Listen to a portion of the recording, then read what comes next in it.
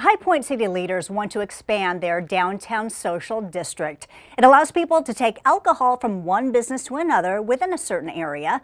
Leaders say it's been a major success since it launched earlier this year.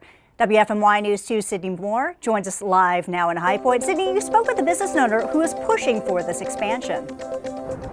Yes, Julie, I definitely did. Well, there are about five businesses participating in the current High Point Social District. And if this expansion does get approved, even more businesses will be able to participate. Here is what the map could look like if it gets approved. I highlighted the area where it is now by the stadium area up towards Church Avenue and Main Street. The new social district would include everything within the Blue Square from Lindsay Street to Hamilton Street and Westwood Avenue to Broad Avenue. I spoke with the owner of Nomad Wine Works, an already participating business, about the expansion.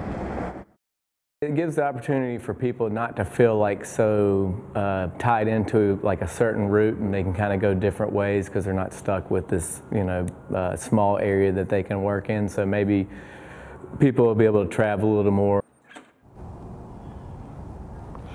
I also spoke with the city's mark. I also spoke with the city's marketing manager. He says while the social district has been popular, the expansion would make the downtown area more attractive to visit.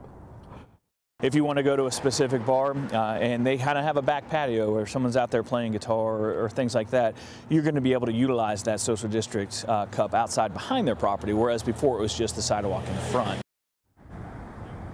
The council plans to vote on this proposal tonight, and that meeting is actually happening right now. We'll be sure to keep you updated. Live in Guilford County, Sydney Moore, WFMY News 2.